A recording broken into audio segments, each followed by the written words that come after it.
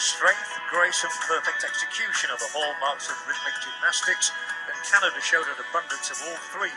taking the team final gold medal, thanks largely to a stellar performance from Patricia Bezzoubenko.